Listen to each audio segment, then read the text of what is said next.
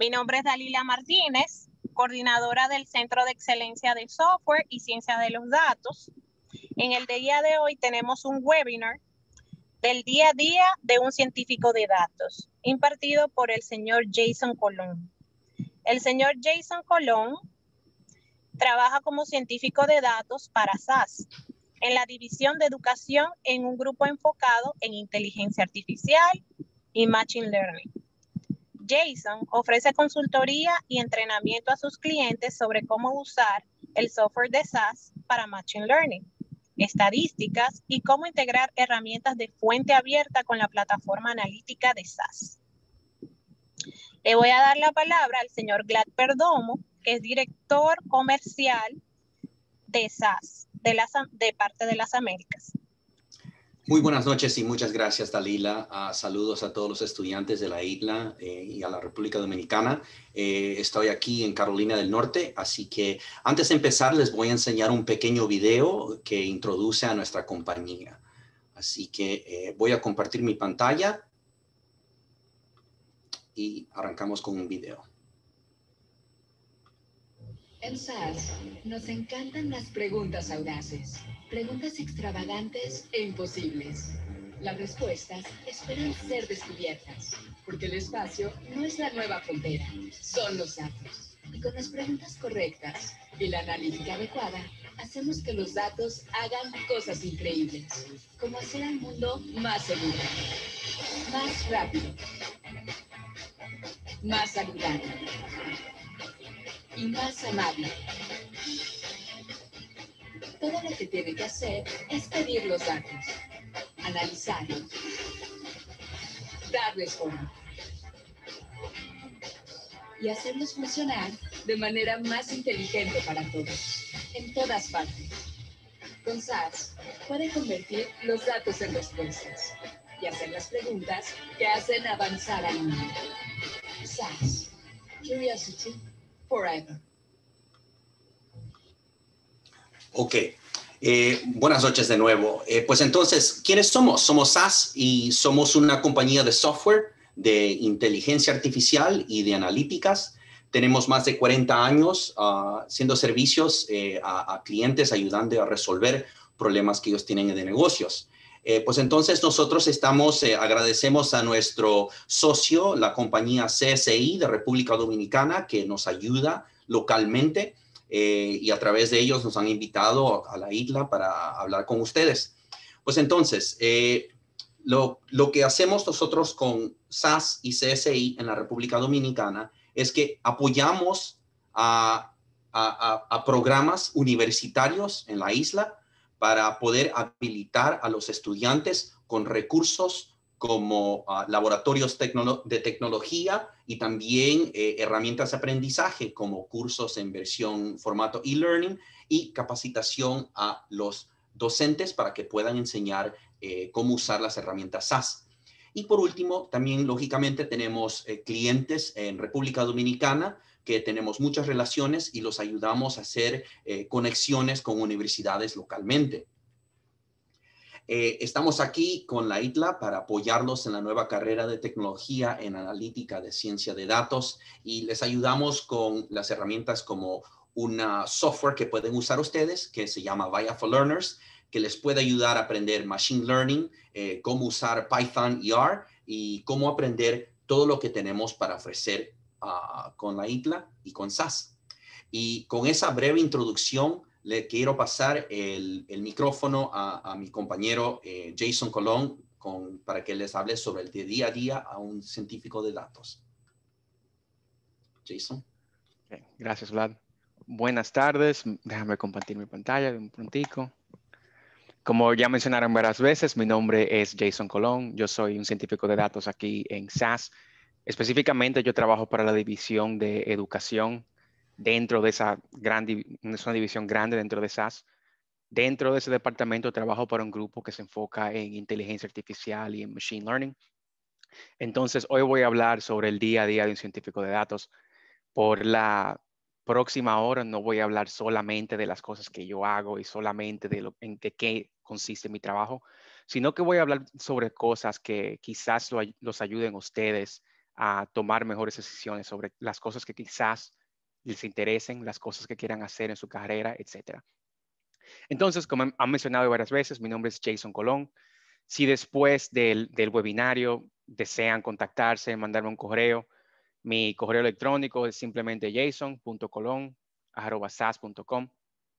Y yo primero voy a comenzar eh, introduciendo una pequeña agenda para, para esta sesión de hoy. Voy a comenzar dando una introducción, me voy a introducir en un poquito más detalle, voy a hablar de cómo yo terminé en esta área de, de la analítica y la ciencia de datos. Después voy a hablar un poco sobre qué es la analítica y la ciencia de datos. La razón por la cual quiero hacer una pequeña distinción entre las dos cosas es porque si puedo hacer esa distinción, quizás ustedes puedan guiarse un poco mejor sobre, sobre, cómo quieren, sobre cómo quieren conducir la dirección de su carrera. Después voy a hablar sobre algunas herramientas que yo encuentro que son herramientas comunes que se usan en la industria, herramientas que uso yo y herramientas que usan mis clientes o amigos que tengo, que tengo en el área. Y luego voy a hablar un poco sobre tipo de cosas que yo creo que lo puedan ayudarse a prepararse dependiendo en qué área de la analítica decidan, eh, decidan seguir. Entonces, primero que todo, comenzaré con esta introducción. Yo nací en la República Dominicana, específicamente en Santo Domingo, yo, mi mamá y muchos de mis familiares viven en Santo Domingo, pero yo ahora vivo en los Estados Unidos, vivo en Carolina del Norte, al, igual que, que, Vlad, como a 10 minutos de, de, la oficina central de SAS. Yo nací en República Dominicana y la mayoría de mi infancia crecí en Santo Domingo, pero también crecí aquí en los Estados Unidos, viví en diferentes estados como Boston, Pensilvania y Carolina del Norte mis padres eran separados y por eso yo me pasaba la mayoría del tiempo en Santo Domingo, pero también hacía algunos años de estudio aquí en los Estados Unidos. Eh, ya a eso del bachillerato, como tercero de bachillerato, yo decidí que tenía que tomar una decisión sobre en dónde yo quiero estudiar y yo decidí um, estudiar acá en los Estados Unidos. Una cosa que quiero mencionar antes de continuar con la presentación es que yo no hablo español todos los días, entonces voy a cometer errores y quizás hayan algunas palabras, algunas palabras que se me olviden. Si se me olvidan algo, si se me olvida una palabra, por favor, eh, díganme en el chat o tengan un poquito de paciencia conmigo. Las mayores presentaciones que hago son en inglés, entonces de vez en cuando quizás cometo un error. por favor, un poquito de paciencia. Entonces, pero yo todos esos años, una o dos veces al año, voy a, a República Dominicana a visitar a mi mamá y a familiares pero como sea, completé la universidad aquí en los Estados Unidos. Yo comencé estudiando ingeniería química en la universidad de donde me gradué, NC State. Ahí completé mi, eh, mi diploma, lo que se le dice aquí el bachelor's. Yo lo completé en NC State en ingeniería química y yo ejercí esa carrera por uno, eh, ejercí, esa carrera por unos, por unos cuatro años. Mientras ejercía la ingeniería química, yo decidí obtener mi maestría de la Universidad Penn State y obtuve mi maestría en analítica de datos, eh, igual que muchos de ustedes que quizás quieran eh, hacer esta carrera también. Como acaba de mencionar Dalila por el chat, ustedes pueden hacerme preguntas eh, usando el chat. También hay una sección que dice QA en, en Zoom y pueden usar esa área también. Al final de la presentación vamos a tener un poco de tiempo también, unos 15, media hora, etcétera, solamente para preguntas. O sea, si tienes alguna, alguna pregunta, quieres enfocarte en la presentación, las puedes escribir y después eh, del chat, o perdón, después de la presentación podemos hablar eh, sobre, esas, sobre esas preguntas. Ahora, entonces yo terminé, eh, hice la maestría en Penn State. Durante ese tiempo, o sea, cómo yo llegué aquí a estudiar, con, bueno, cómo yo terminé estudiando analítica y haciendo ciencia de datos. Yo comencé trabajando para una compañía eléctrica, esta compañía se llama Duke Energy, y en el sureste de los Estados Unidos una de las, compañías más grandes de eh, eléctricas.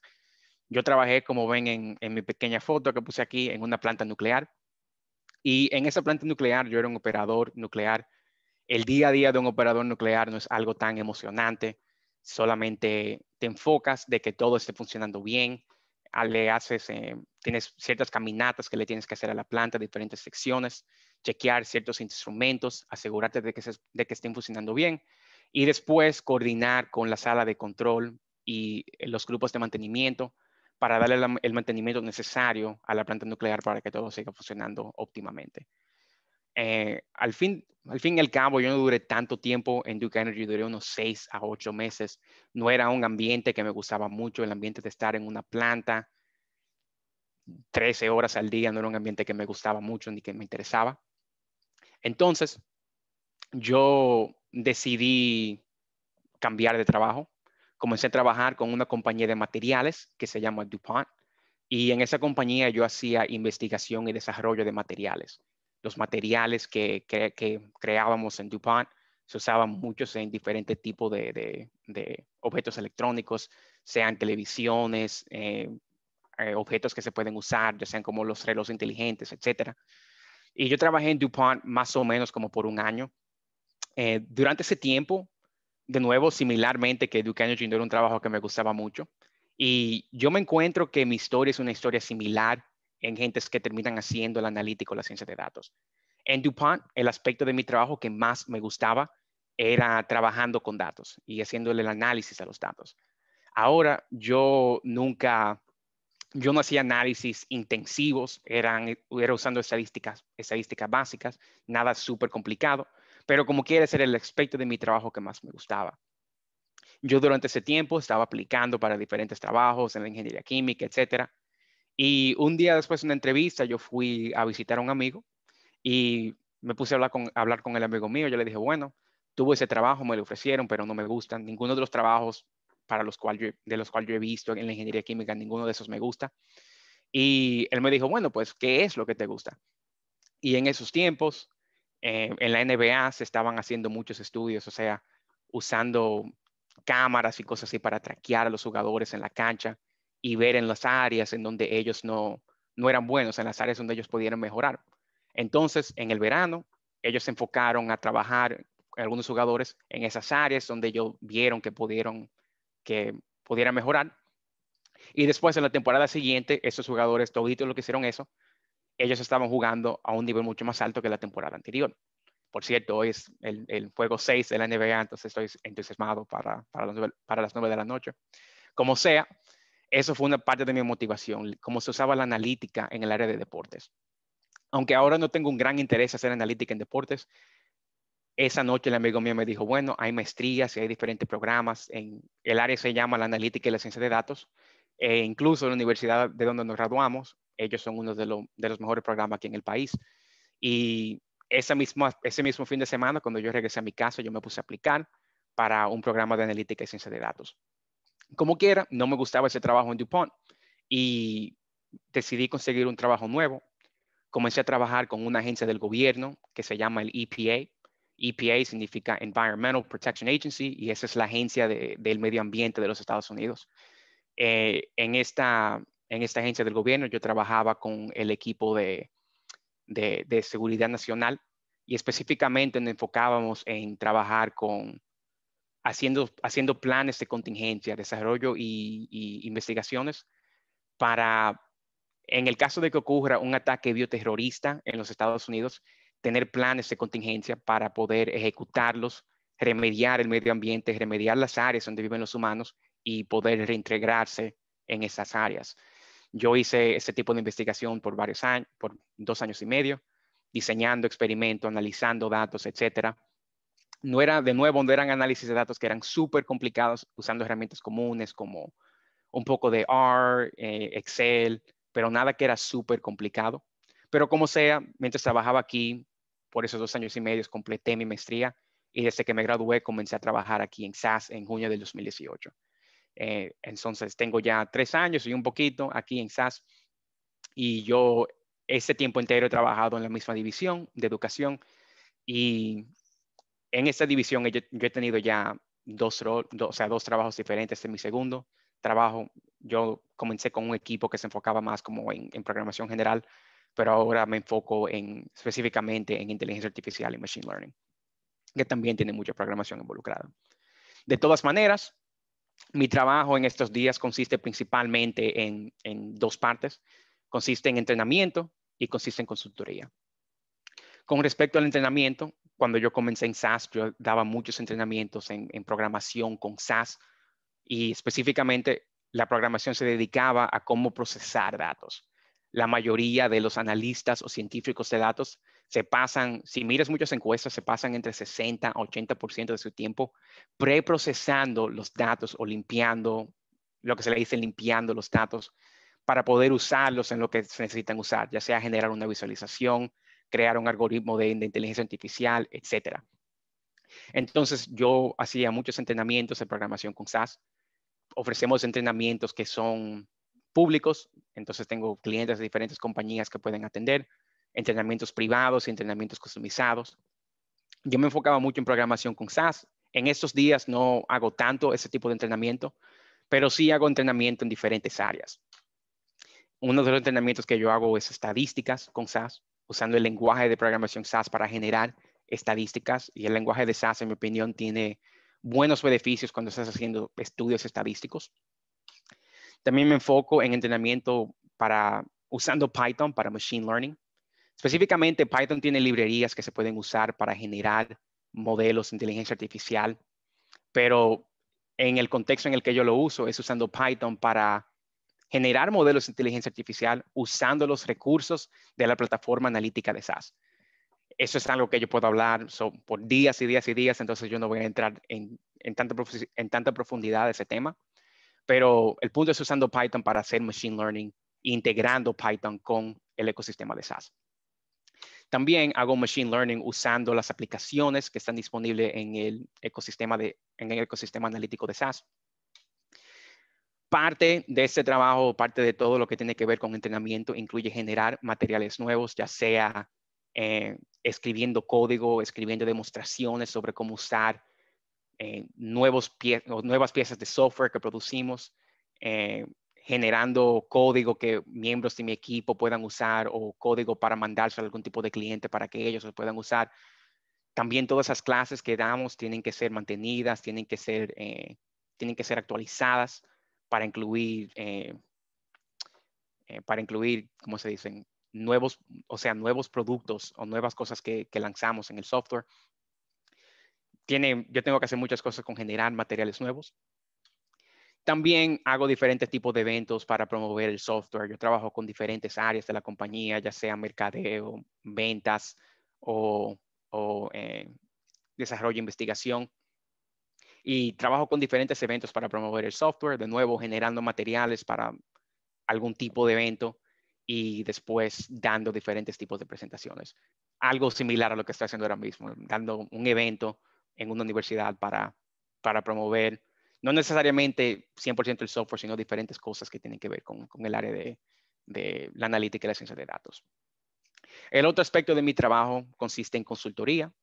En estos casos tenemos clientes que compran el software y cuando compran el software también ellos reciben horas que pueden usar para consultoría y para, para entrenamientos. Entonces, de vez en cuando tenemos clientes que quieren una respuesta o una solución específica. Ellos dicen, bueno, compramos este, eh, estos software y esos son los problemas que queremos resolver.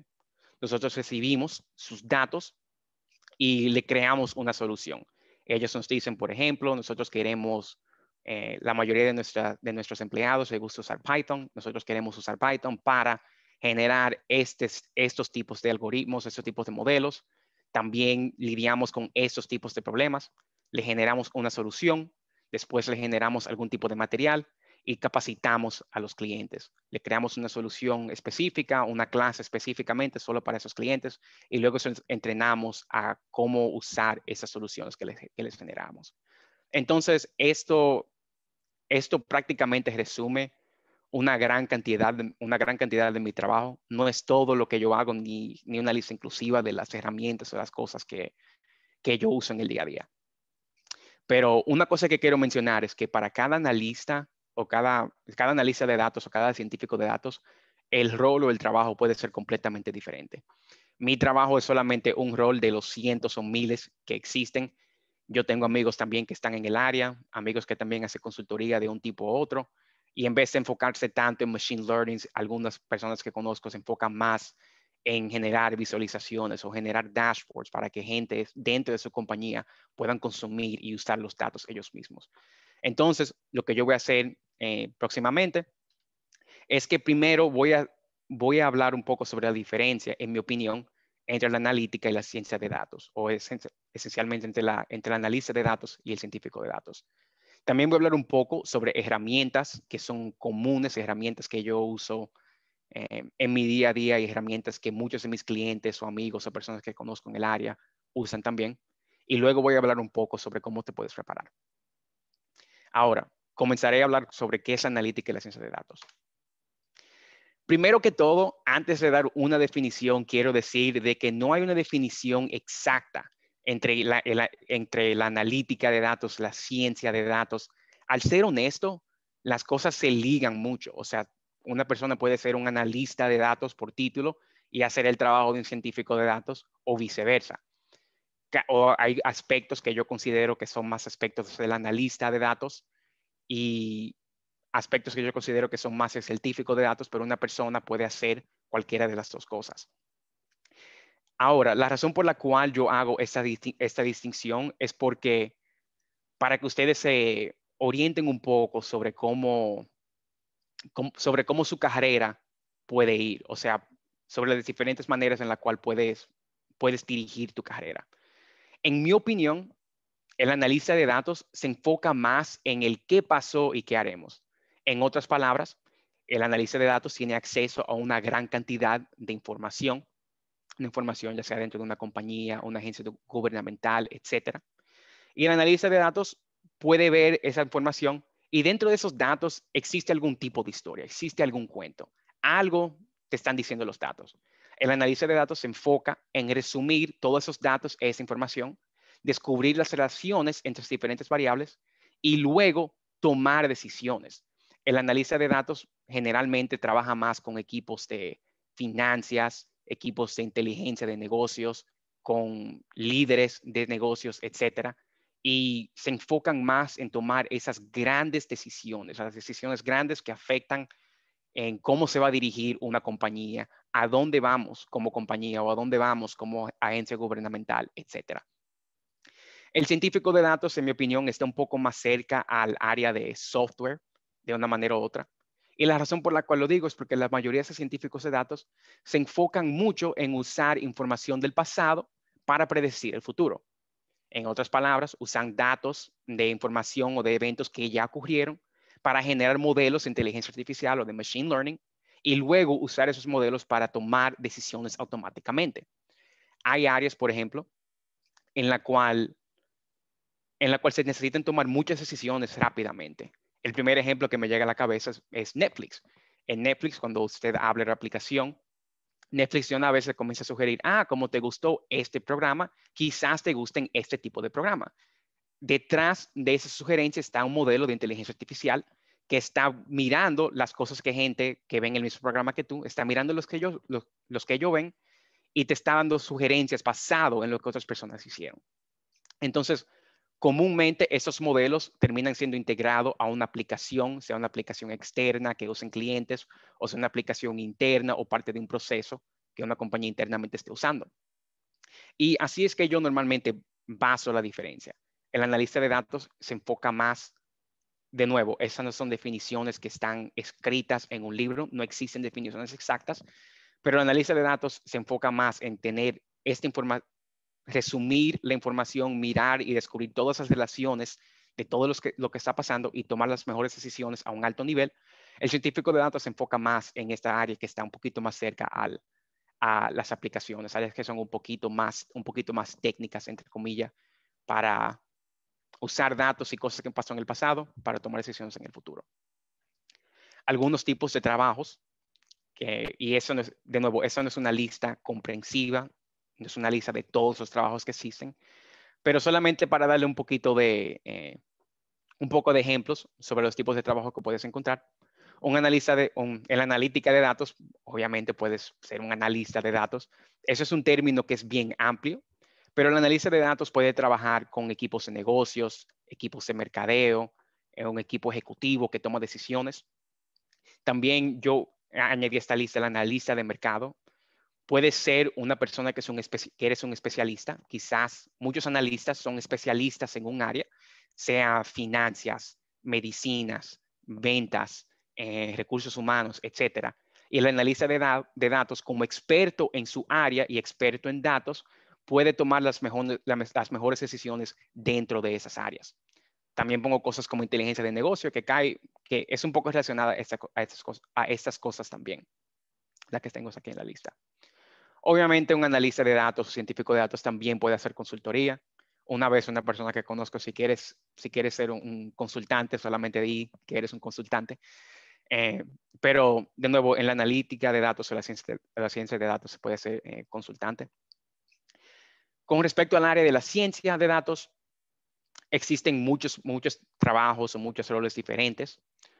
el trabajo más común que yo veo por un científico de datos eh, consiste en, ser un ingeniero, ingeniera o una ingeniera de Machine Learning. Esa es una persona que se enfoca de nuevo en generar modelos predictivos, modelos para tomar algún tipo de decisión. Y como mencioné anteriormente, no es no es que necesariamente sean dos cosas completamente diferentes. La razón por la cual yo hago esa distinción es para que ustedes tengan un poco de la idea de qué tipo de trabajos existen, porque un tipo de trabajo está más relacionado a otro tipo de trabajo que, los, que el otro grupo. La ciencia de datos también está un poco más cerca a la arquitectura y la ingeniería de datos, pero eso no dice que un analista de datos tampoco se enfoque en estas áreas. Voy a hablar un poco más sobre la arquitectura y la ingeniería de datos eh, más adelante en la presentación. Una cosa que quiero mencionar antes de continuar es que yo, yo sé que hay varias preguntas, pero yo lo que voy a hacer es voy a esperar hasta, yo voy a esperar hasta el final de la presentación y luego volveré a responderles alguna de, algunas de las preguntas que tengo aquí. Ahora, continuando, voy a hablar un poco sobre algunas de las herramientas que son comunes para los analistas o científicos de datos, algunas, algunas de las herramientas que ven aquí son herramientas que yo uso también. Um, y algo que quiero decirle también es que no quiero que se sientan intimidados. Yo voy a listar varias cosas aquí en, la presentación y no es necesario que, que, que, sean maestros en todas estas áreas. Yo voy a hablar un poco más sobre eso en esta sección de cómo me preparo. Como sea, el primer tipo de herramienta del cual voy a hablar son herramientas que se usan para generar visualizaciones. Es importante, sin importar el tipo de trabajo, siendo que trabajes con datos, es importante saber cómo generar visualizaciones, cómo visualizar información. Eso es especialmente importante para una persona que se enfoque más en esos trabajos que están más cerca a los analistas de datos, personas que se enfocan en tomar estas grandes, esas grandes decisiones, muchas de estas personas que son analistas de datos, lo que ellos hacen por una gran parte de su tiempo es generar visualizaciones importantes. Existen muchas herramientas o aplicaciones como Tableau, Power BI o la herramienta que tiene SAS que se llama SAS Visual Analytics. No tienes que ser un maestro en todas esas herramientas. Al contrario, en mi opinión, cuando, sabes usar uno, cuando sabes usar una de las herramientas, es fácil aprender cómo usar otra de las herramientas porque es importante saber visualizar información, especialmente usando este tipo de aplicaciones. Normalmente una manera bien común de generar visualizaciones es alguien abre un documento de Excel y genera una visualización. El problema con esa visualización es que es una visualización estática. Eso significa que la puedes usar en una presentación o integrarlo en un documento o, o ponerlo en un, en un correo electrónico. Pero ¿qué pasa? Eso no te ayuda eso te ayuda a digerir un poco de información, pero si quieres, si quieres resumir una historia completa, una sola visualización o muchas imágenes, eso es la mejor manera de hacer eso.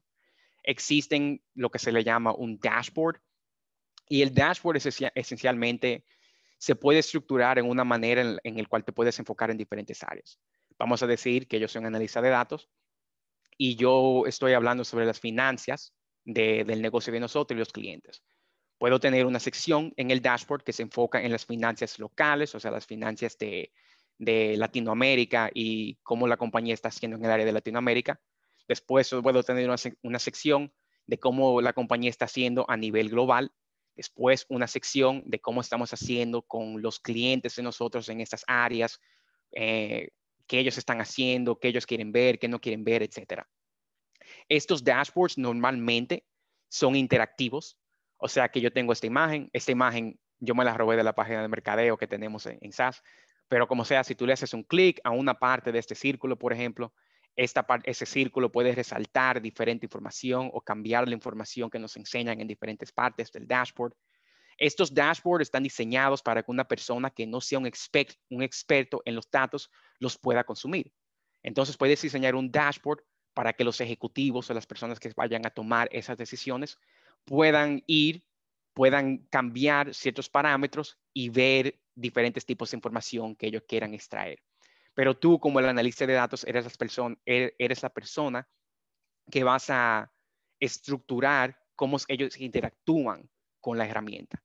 También es importante generar esas visualizaciones por si tienes que dar algún tipo de presentación, la puedes extraer del dashboard o puedes, eh, eh, o puedes ponerla en una, en una presentación de PowerPoint, como lo he hecho yo aquí, o algo por el estilo.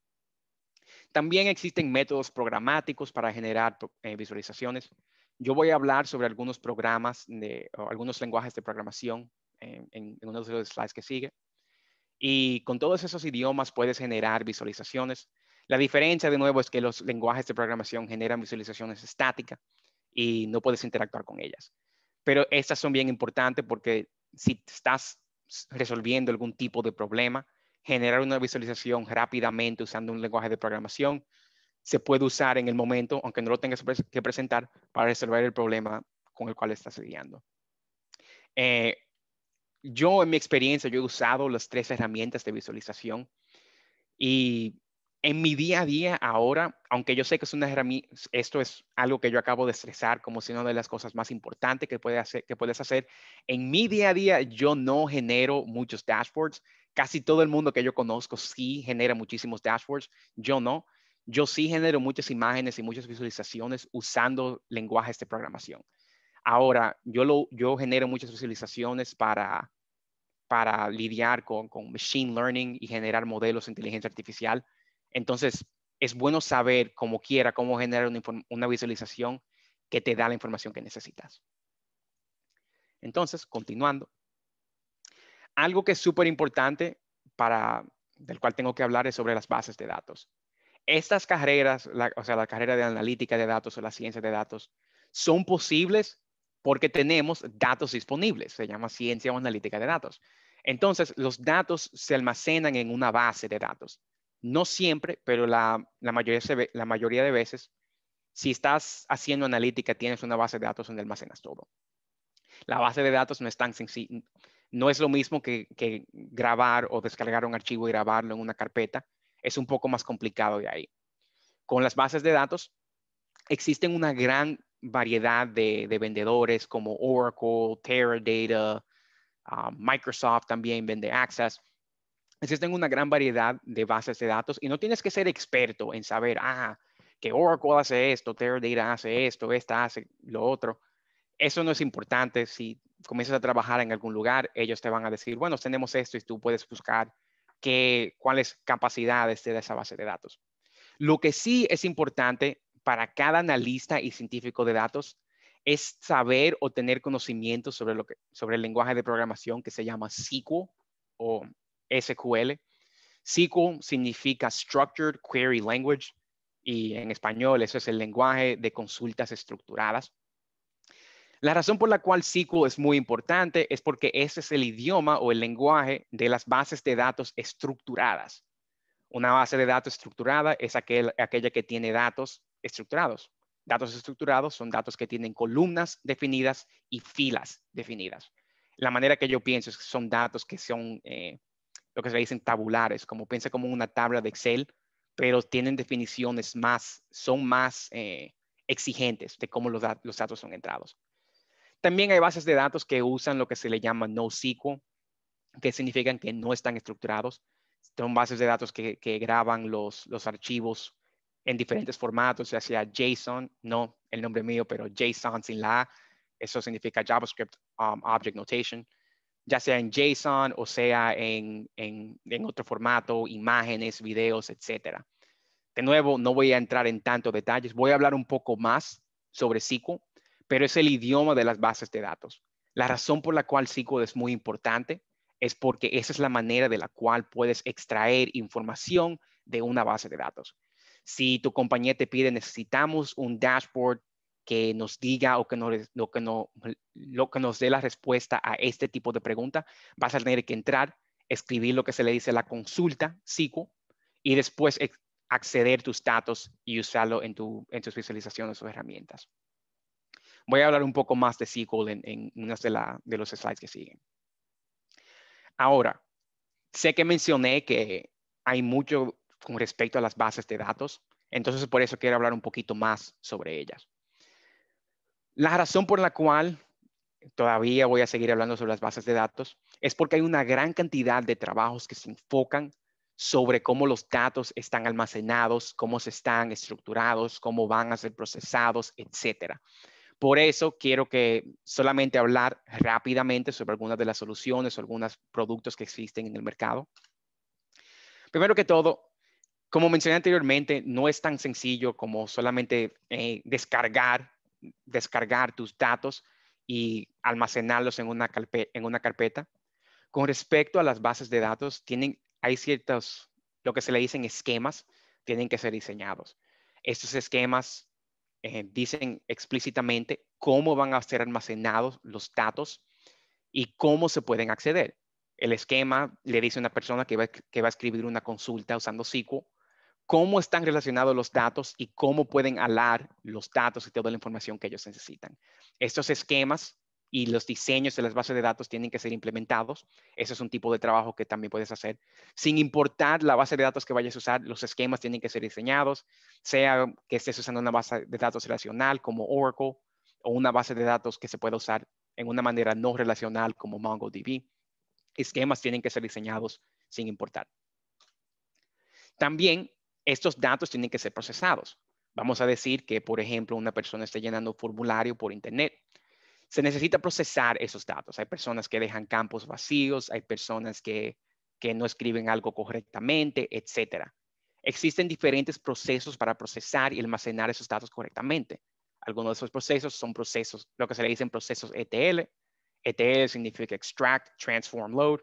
Y en español eso es extraer, transformar y cargar los datos, o sea, cargarlos a la base de datos. Eh, ¿Cómo se? Un momentico aquí. Entonces, esos se cargan a la base de datos. Y esos procesos, de nuevo, dicen, la persona que está diseñando esos, esos procesos tienen que saber al fin del día cómo se van a usar los datos, para qué se van a usar los datos. Y en esos procesos se le hace muchas, lo que se le llama transformaciones a los datos, limpiar los datos, sea eliminando campos que no sean útiles, extrayendo los campos que sean útiles, sea información que se necesita que esté completada, invalidando ciertos datos o ciertas filas, etc. De nuevo, puedo hablar por días sobre procesos de TL, pero no tengo el tiempo para hacerlo. También hay bases de datos que son distribuidas. Esas bases de datos, la solución más popular en el mercado incluye Hadoop, que es una solución, lo que se le dice código abierto, una solución, en otras palabras, que la comunidad puede aportar código nuevo para hacer cosas nuevas. Bases de datos distribuidas como Hadoop tienen tolerancia a fallos. Si falla un servidor, otros servidores tienen acceso a estos datos. Incluso estos sistemas distribuidos, hay muchos que han sido inspirados por Hadoop porque se pueden usar los, eh, los recursos computacionales de cada, de cada computadora que es parte de la red. Eh, la plataforma analítica de SAS tiene muchas ideas de, la, de cómo se diseñó Hadoop e incluso se puede integrar con diferentes bases de datos como Hadoop, Oracle, etc.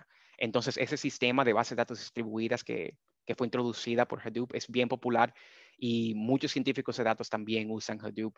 Yo tengo experiencia con Hadoop, pero no es algo que uso en, mi día a día eh, específicamente.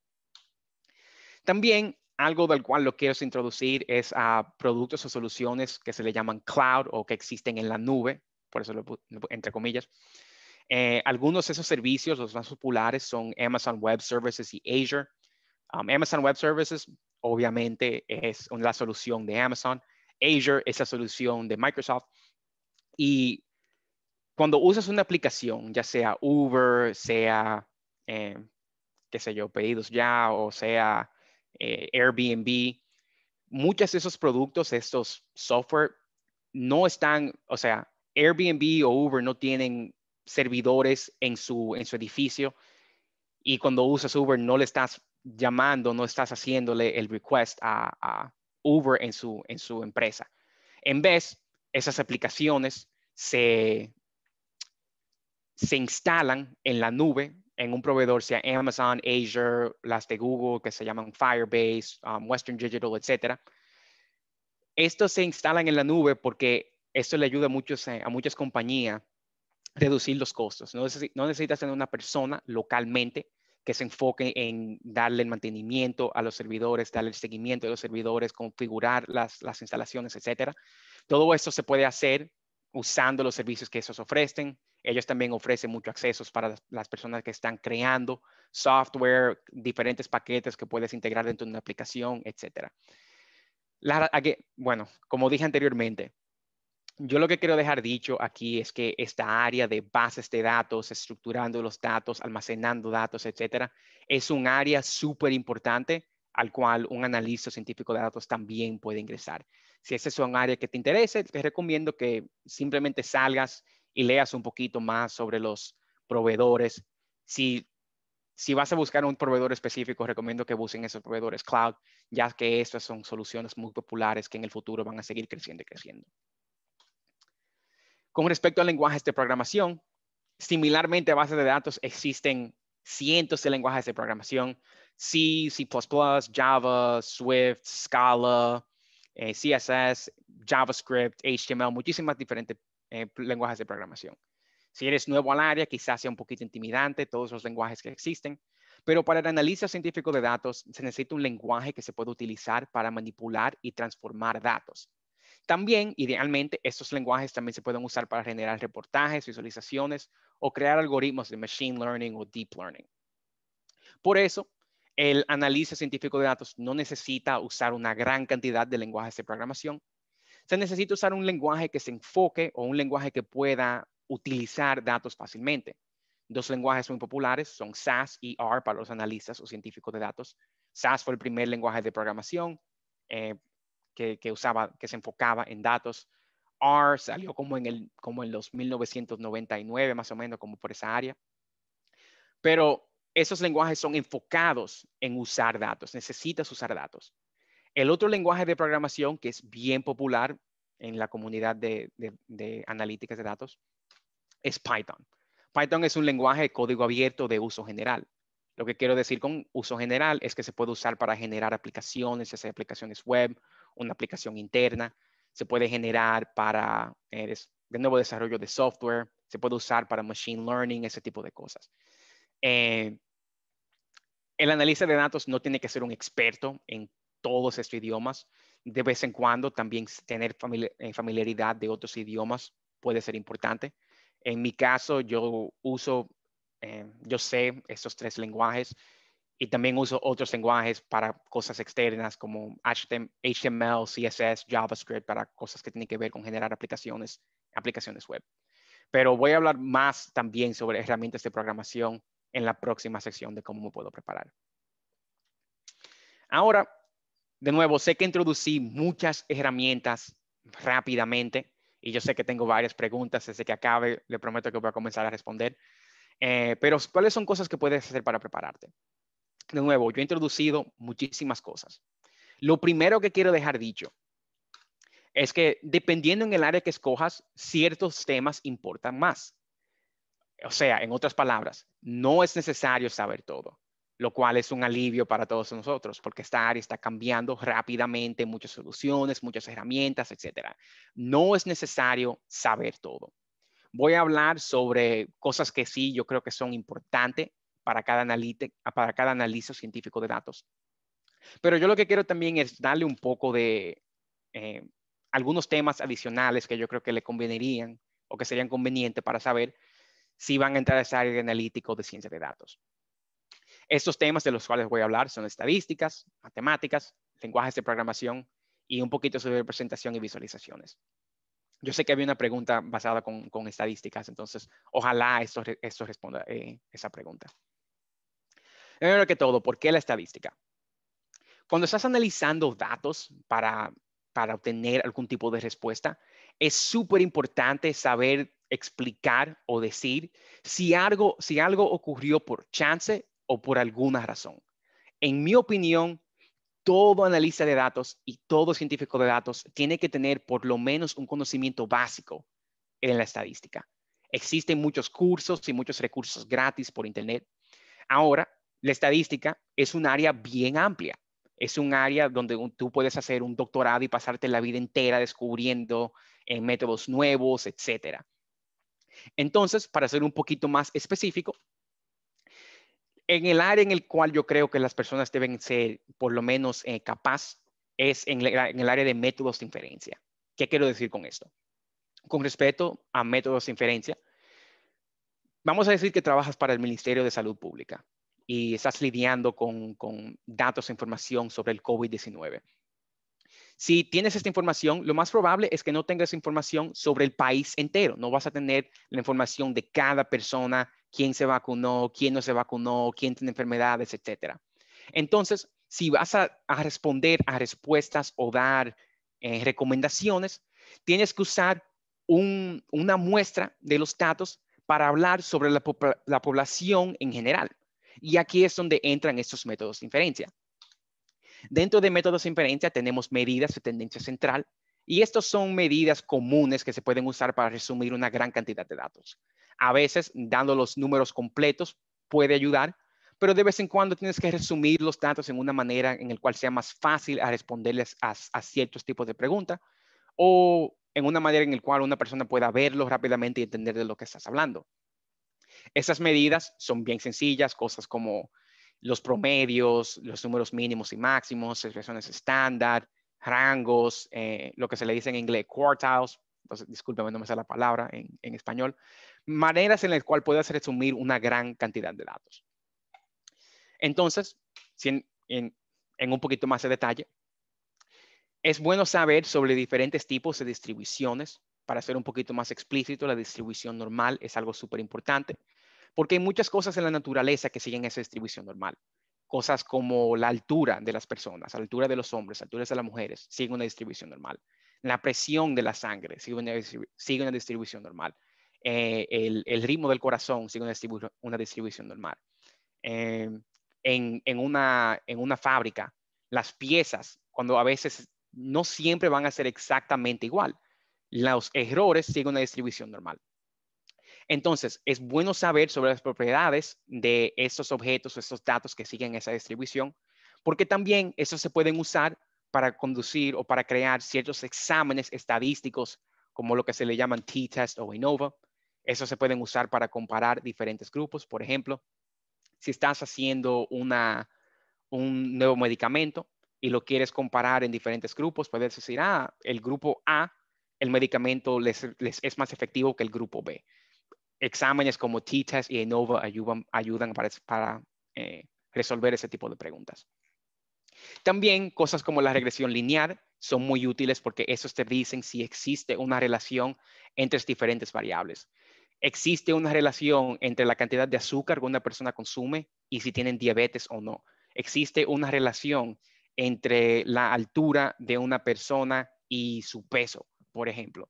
Entonces, métodos de inferencia también incluyen eh, modelos como la regresión lineal, el cual se puede usar en Machine Learning, pero de nuevo, eso es otro, otro tema para otro día. Para resumir este, esta información aquí, yo les recomiendo a todo el mundo que tenga un conocimiento por lo menos básico de estadísticas.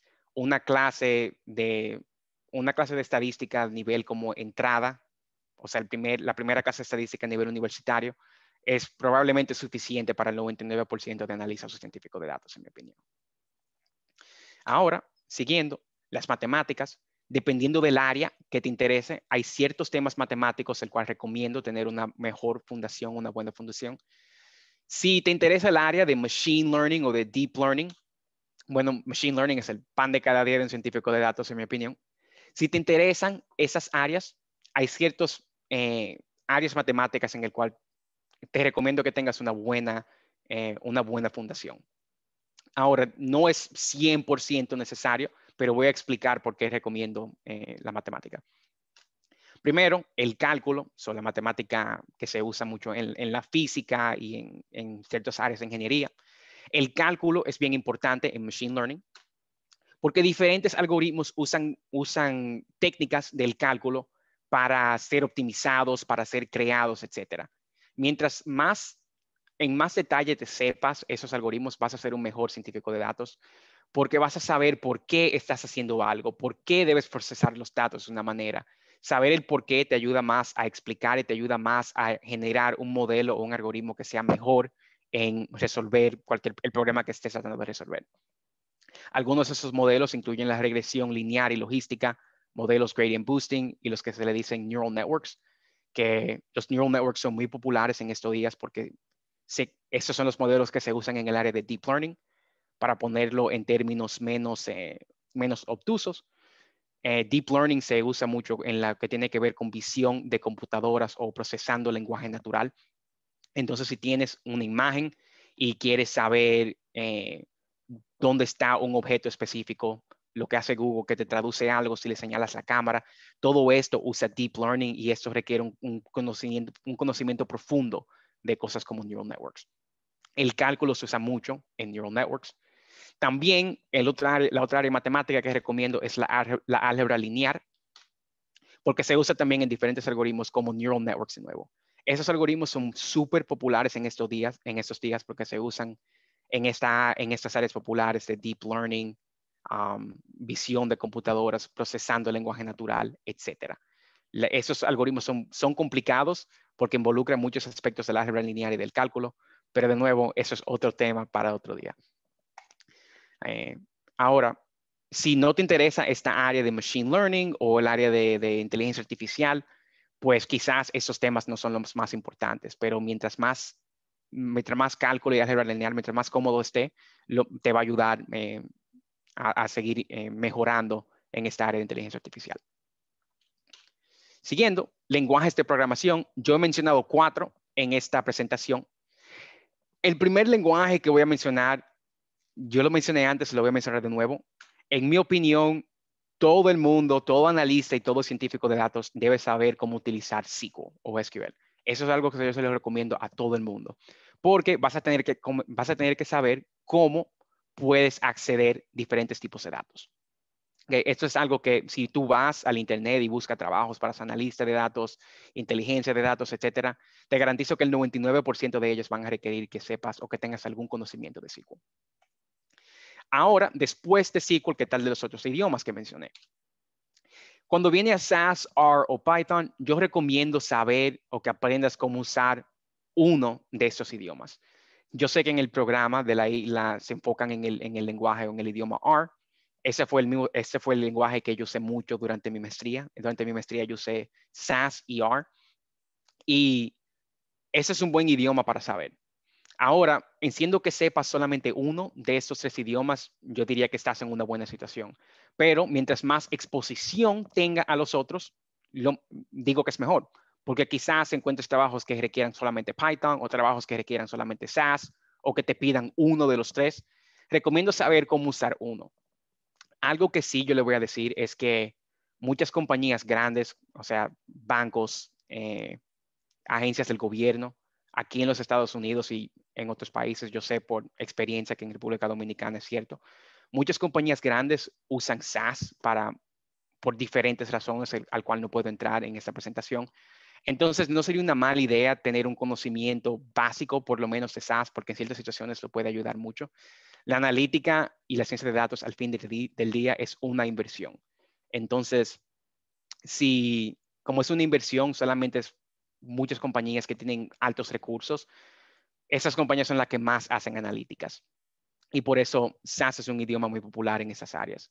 Entonces, de nuevo, enciendo que sepas usar uno de estos digo que, está, digo que estás en una buena situación, pero mientras más exposición tenga, mejor todavía.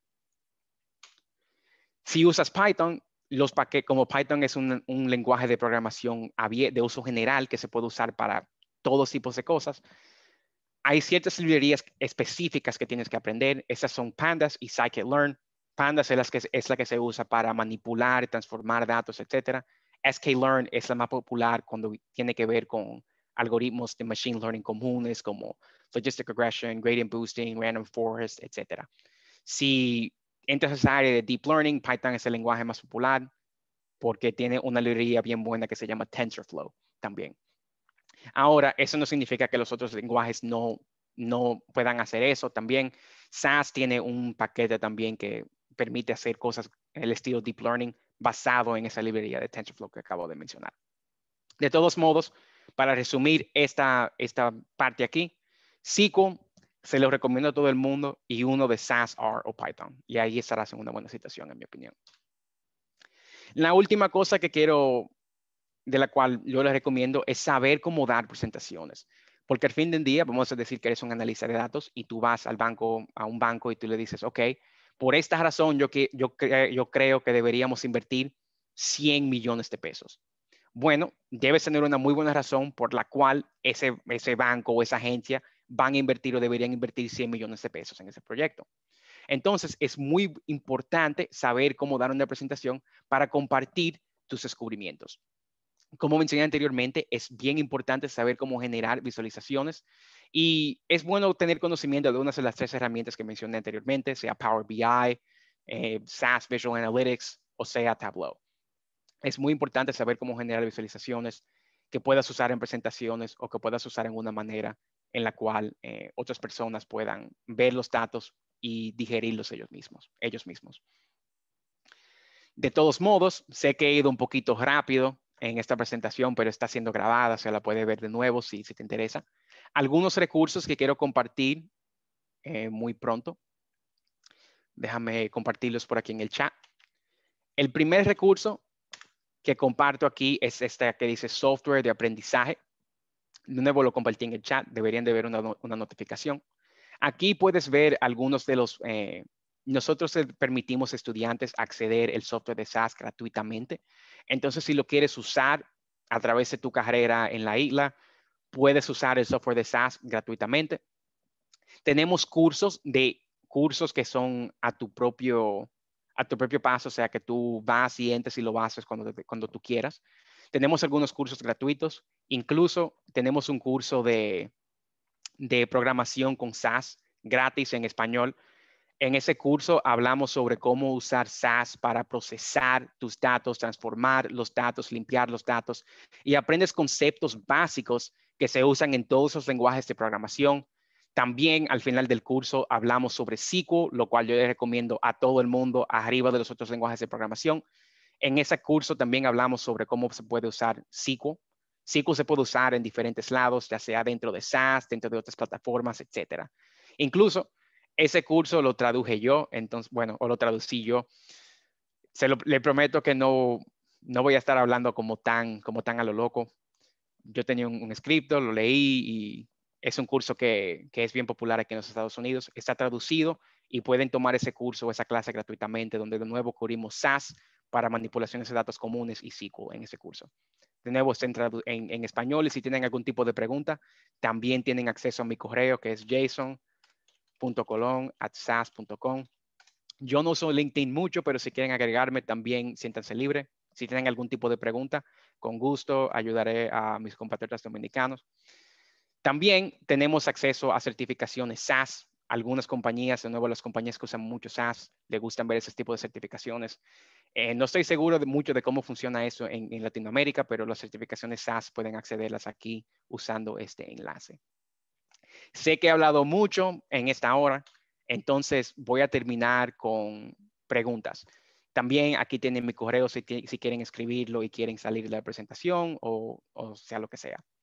Entonces, tengo algunas preguntas aquí al cual le voy a responder. Si necesitan irse, un placer. Muchas gracias por estar aquí. Eh, gracias, Mauri. Si necesitan irse, entiendo completamente. Si desean quedarse y, eh, escuchar la respuesta a algunas de esas preguntas, siéntanse libre. Eh, buenas noches, Jason. bueno, vemos que tenemos unas preguntas en el chat, también tenemos unas preguntas en la sección de QA, que tengo 12 abiertas. Yo respondí a 6. Okay. Las 12 hay algunas que son específicas a lo que tú estabas conversando. Así que te dejé unas y otras que no llegué con tiempo. Ok, ok, ok, gracias. Sí, sí, cómo no. Voy a comenzar. Una por aquí, una del chat, antes de que se me pierda. Sí. Tengo por aquí la siguiente pregunta. ¿Cuáles son las mejores herramientas para ETL? ¿Cómo me formo correctamente al respecto? Con respecto a ETL, existen muchas soluciones. Eh, para diferentes compañías son diferentes soluciones. Una común que yo he usado antes se llama NIME. Eh, y esta es, se basa específicamente en integrándola con una base de datos y diseñando los procesos, pero también depende en cómo la compañía esté estructurando y dónde estén almacenando los datos. Yo sé que se usa Python mucho para algunos de esos procesos que ocurren detrás de las escenas, pero dependiendo en el idioma principal que usen para generar una aplicación, este puede ser Java o un idioma más, más intensivo del cual no he hablado hoy dependiendo en qué yo esté usando, eso también puede guiar el idioma que estén usando, pero se usa o algún tipo de lenguaje de programación o se usa algún tipo de herramienta como esa NIME que acabo de mencionar. Y NIME se escribe, déjame escribirlo, K-N-I-M-E, o un lenguaje de programación de uso general como Python también es una buena manera de comenzar a aprender cómo, cómo hacer o diseñar esos procesos ETL. Gracias por esa pregunta, Daleila. Déjame ver si tengo más aquí. Tengo otra por acá. Eh, dice así. Eh, ¿Uno tiene que ser desarrollador o programador para aprender SQL u Oracle? No, no es necesario. Es algo que yo, si tuviese un poquito más de tiempo, lo hubiese mencionado en la presentación, pero SQL o SQL es un lenguaje general y por eso es bueno aprendérselo. No importa en dónde te lo, aprendas, ya sea SAS, sea en una página de internet, lo que sea. SQL es un idioma que está estandarizado y es universal cuando tiene que ver con bases de datos relacionales. Si aprendes SQL usando Postgres o usando Oracle o usando Teradata o usando SAS, no importa, esto va a aplicar o sea Python, lo que sea, no importa, el sintaxis de SQL o la sintaxis de SQL es la misma independientemente de dónde, de la estés usando. Una muy buena pregunta. Eh, aquí veo cuartiles en español. ¿Te las vas leyendo o te las voy leyendo y tú las vas contestando? Eh, yo puedo irlas leyendo. Ah, sí. Ajá. También, déjame ver. Aquí voy a ver la que tengo en el, en el Q&A. Para ser científico, ingeniero de datos, se recomienda iniciar con un data analyst y luego seguir escalando o puedo iniciar directamente. Tú puedes iniciar eh, directamente. Yo sé que muchas de las personas que conozco, como mencioné anteriormente, tienen algún tipo de, de educación, ya sea en finanzas o, en mercadeo o en, en, psicología, antropología, etcétera. O sea que puedes, puedes comenzar inicialmente, pero si vas a comenzar, si estás comenzando desde cero, recomendaría que comiences con un poquito de estadísticas primero y después aprendas más sobre los temas eh, que, que, encuentras comúnmente, como generar visualizaciones, usando, usando estas herramientas, etc. espero que eso ayude a responder esa pregunta. Entonces, ¿cómo se puede emprender siendo analista de datos? Creo que a este punto ya yo he hablado mucho sobre ese tema. Déjame seguir viendo. Para mí, ¿cuál lenguaje de programación se siente más cómodo? En mi opinión, depende de qué es lo que estés haciendo. Para mí, si estoy generando visualizaciones programáticamente, yo me encuentro que SAS es bien sencillo. Si estoy haciendo ciertas cosas como cosas que tienen que ver con Machine Learning, yo me encuentro que Python es un lenguaje o un idioma que es bien sencillo. R me gusta cuando, porque tiene algunas maneras bien eficientes de manipular datos. Entonces, al fin y al cabo, yo tengo preferencias en diferentes idiomas porque he tenido exposición a varios idiomas. Hay cosas que me gustan que cómo lo hacen ciertos idiomas y cosas que me gustan cómo lo hacen otros idiomas. Entonces, es una pregunta que es un poquito, tiene diferente, diferentes tipos de respuesta. Pero muy, muy buena pregunta. Eh, como yo mencioné anteriormente, estos días el, el, lenguaje que yo más uso es Python y uso SAS también. Déjame leer, a ver qué más se encuentra.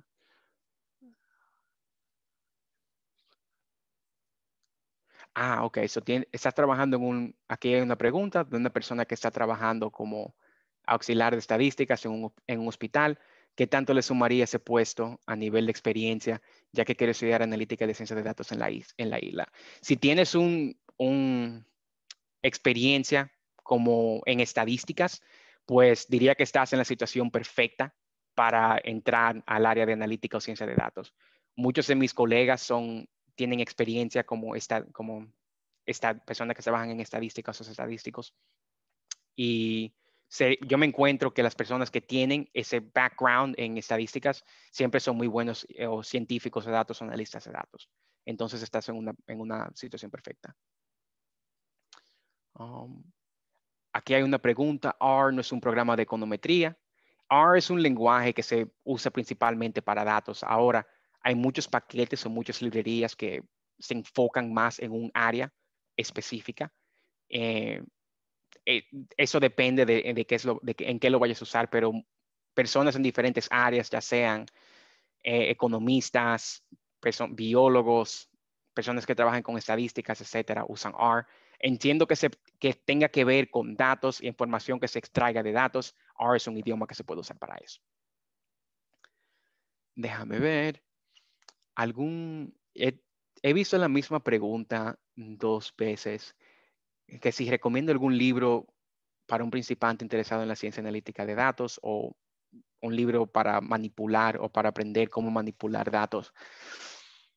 Al ser honesto, no tengo un libro que me llegue a la cabeza directamente. Sí tengo varios libros para, para Machine Learning y generalmente muchos de los cambios o manipulaciones que se le, que se le hacen a los datos, yo lo hago basado en lo que tengo que hacer con un algoritmo específico de Machine Learning. Y mientras aprendo sobre un algoritmo, aprendo sobre, sobre manera en el cual debo eh, preprocesar mis datos para usarlos. Entonces no tengo un libro específico para manipulación de datos, pero sí sé que hay muchos. Uno que es muy bueno, que lo he visto que ha sido recomendado por muchas personas, se llama The Little SAS Book. No dudaría si hay una versión en español, pero ese libro se enfoca en programación con SAS y en manipular explícitamente habla sobre manipulación de datos. Yo me imagino que estará en español porque es un libro que es bien popular en, inglés. Y ese es un libro que, yo les recomendaría para las personas que estén interesadas en, algún libro, algún documento que es para, para novatos, que se enfoque y enseñe en cómo preprocesar y cómo analizar datos. Muy buenas preguntas ahí. Hay una, carrera en finanzas y también experiencia en programación. Sería recomendable hacer una maestría en ciencia de datos. Bueno, al ser honesto, no, no tengo la respuesta a esta pregunta porque depende en qué quieres hacer con tu, con tu carrera. Si tienes una carrera en finanzas y quieres hacer un, cambio, depende en lo que quieras hacer. Si quieres enfocarte más en usar datos para, eh, para datos financieros para tomar decisiones a un alto nivel, una carrera o una maestría en ciencias de datos, analítica de datos ayudaría mucho. Eh, eh, pero al fin del día depende explícitamente en los que quieras hacer. Eh, déjame ver. Hay un momento. Um, ¿Con cuál, mensaje, ¿Con cuál lenguaje sería mejor empezar? yo no sé yo no sé necesariamente con cuál lenguaje sería el mejor, con el cual ustedes puedan empezar. Yo, el primer lenguaje que yo hice en mi maestría que yo usé fue SAS y después comencé a usar, a usar R. Si tienes, interés, si tienes un interés en hacer más eh, programación general, o sea, en diseñando software o aplicaciones web, etcétera, un lenguaje como Python es un lenguaje excelente porque es bien similar a otros idiomas de programación, o sea, tiene muchas de las funcionalidades que vas a encontrar en, otros lenguajes de programación y, el, y la sintaxis es bien fácil de aprender. Entonces, ese es un buen lenguaje si te interesa el área general de, programación.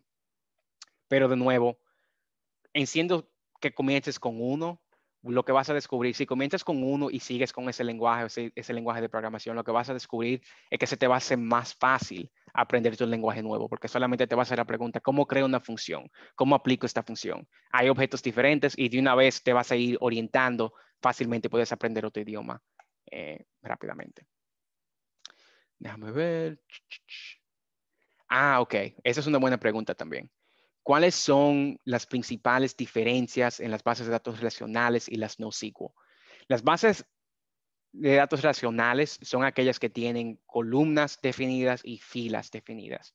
Cuando estás diseñando el esquema de una base de datos, el esquema de una base de datos, tienes que definir concretamente lo que vas a almacenar en esa base de datos y cómo lo vas a accesar, cómo las tablas dentro de la base de datos van a, están relacionadas.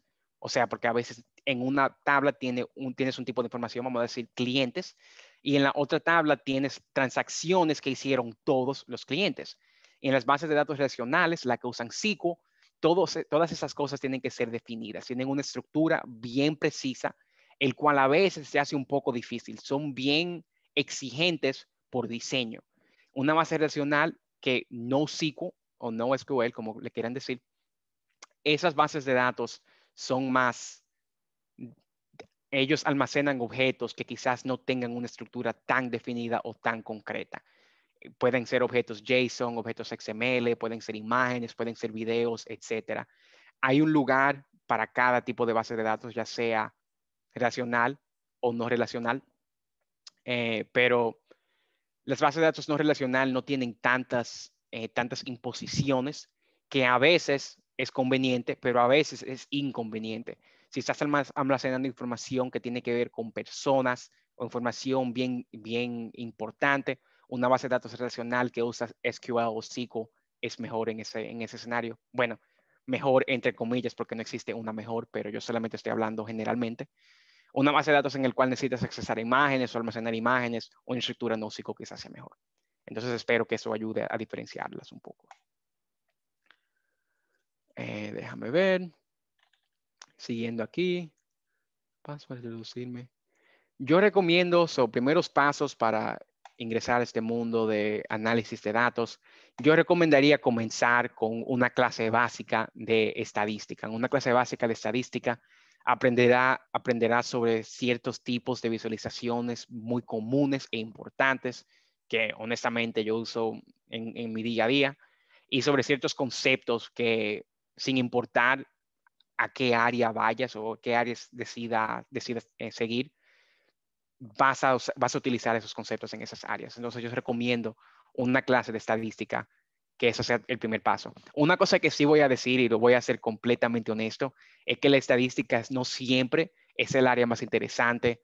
Eh, a veces se me hace muy difícil sentarme en una lectura eh, sobre estadísticas, pero solamente necesitas una clase y después de esa clase comienzas a exponerte a, lenguajes de programación, etcétera. O a veces también puedes usar un lenguaje de programación en las clases estadísticas y honestamente eso, es un palo porque aprendes sobre el lenguaje de programación y sobre cómo eh, y sobre las estadísticas al mismo tiempo. Oh.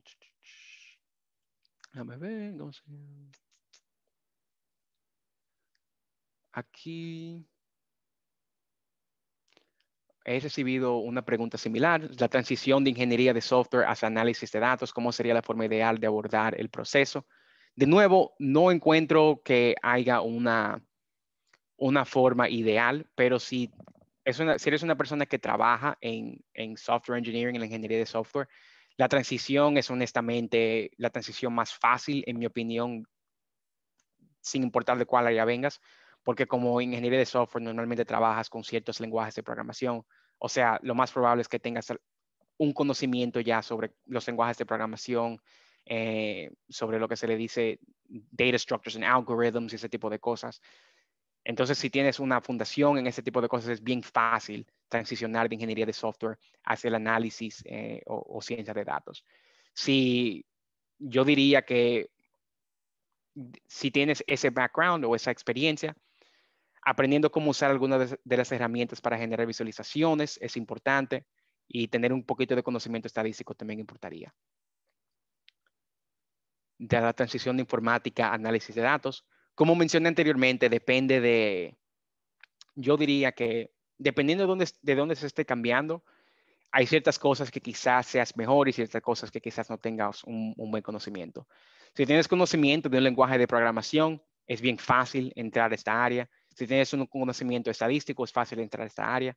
En mi caso, yo para dar, solamente para dar el ejemplo, mi experiencia previa era en la ingeniería química. Y en la ingeniería química yo lo que tenía era, mucho conocimiento de matemáticas, cálculo, álgebra lineal, conocimiento de estadísticas, pero no tenía mucho conocimiento sobre la programación y esas eran cosas que tuve que aprender. Entonces, dependiendo de dónde venga, eso depende de las cosas en las, cuales, en las cuales se tenga que fortalecer. Pero recomendaría de nuevo estadísticas, programación y herramientas de visualización. Entonces, dependiendo qué experiencia tengas, comenzaría con explorar uno de, unas de esas áreas. Déjame ver. Costos y requisitos para certificarse en SAS. Esa es una pregunta que quizás Vlad lo pueda responder mejor que yo. Ah, Perdón, ah, Jason, estaba leyendo la otra de. Steven. Oh, okay. ¿Cuál me dijiste? La que costos y requisitos para certificarse en ah, SAS. Perdón, esa es la misma que estaba leyendo. Ah, ok, ok. Bueno, pues eh, para Calcida Guzmán, eh, ahí tenemos, eh, puse un enlace en una de las preguntas en todos los programas académicos que puso Jason también. Y dentro de esto, el, el, el bueno, el costo de los cursos no, no, no hay no hay, eh, no hay costo para ustedes. De las certificaciones para estudiantes, también tenemos eh, cierto, tenemos un proceso que un estudiante puede, puede eh, inquirir y, damos la, certificación a un, a un, centro Pearson View que lo puedes usar gratuitamente para acceder a tu certificación. Ah, pero bueno, antes de eso hay, hay ciertos cursos que uno tiene que cumplir para llegar a ese punto. Gracias, Vlad. Sí, sí. Um, una cosa también que quiero, quiero mencionar, hay una pregunta que me gusta mucho porque el, el, el nerd adentro de mí se, se, entusiasma. ¿Qué herramientas utilizan los analistas, los analistas de datos para extraer información de datos que no están en formato digital? Ejemplo, informa ah, ok, perdón. Ejemplo, informaciones escritas a manos, formularios, notas, etcétera, que son importantes para el negocio. Esto puede ser un problema eh, difícil de ingeniería de vez en cuando esta información tiene que ser entrada o manualmente o convertida a un formato, en algún tipo de formato electrónico. Se pueden escanear y generar documentos PDF. Después, usando esos PDFs, algunos se pueden escanear usando algún tipo de, lenguaje de programación. Eh, y el, el, problema es que algunos de esos PDFs que se puedan generar, si tienen información escrita, se puede hacer un poquito difícil de poder una máquina entender lo que se escribió. Entonces, eso sería un trabajo donde se tendría que escribir algún tipo de programa que, donde se puedan, algún tipo de programa que pueda acceder los archivos PDF, los archivos que se escanearon, e intente de programáticamente extraer los campos que contienen la información válida y estos tienen que ser preprocesados como hay mucha, mucha variación, los documentos que se generan quizás no siempre sean iguales, hay maneras o métodos de escribir que una máquina no va a entender. Esos van a tener muchas inconsistencias y va a ser un, un problema honestamente difícil, pero es algo que se puede solucionar. Se necesitaría algún tipo de programa, algún lenguaje de programación para escanear esos archivos PDFs eh, rápidamente y después un programa que extraiga la información importante y la, pre y la preprocese en una manera que se puedan usar. So, muy buena pregunta, una pregunta al cual existen muchas soluciones, pero espero que eso, que eso lo ayude un poquito.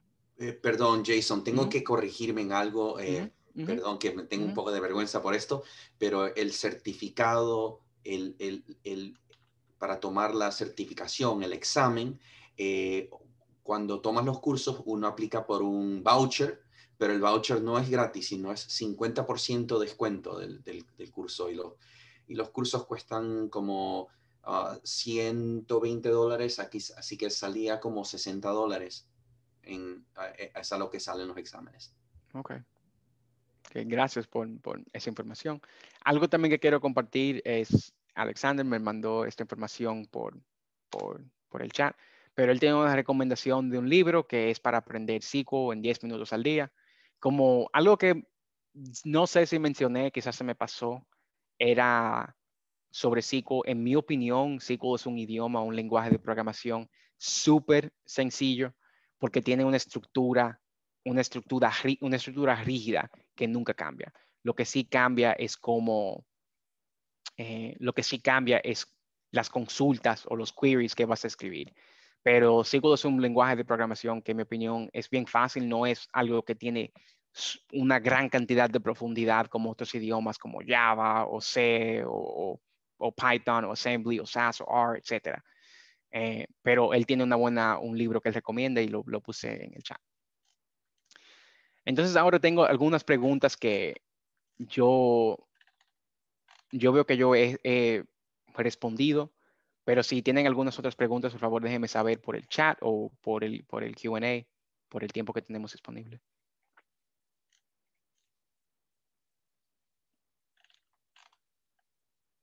Um, aquí hay una pregunta sobre, sobre Power Pivot. Yo no estoy seguro si Power Pivot es una, una herramienta que proviene de, eh, de Power BI o si es una herramienta que proviene de Excel. Los dos están generados por Microsoft, pero me suena me suena similar.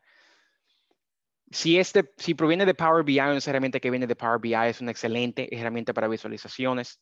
Eh, pero si es una herramienta que proviene de Excel, por ejemplo, el problema es que vas a generar imágenes que son estáticas y esas son útiles en una presentación o en un documento de algún tipo, pero no es la mejor manera de una persona digerir y explorar la información ellos mismas y obtener las respuestas que ellos específicamente necesitan.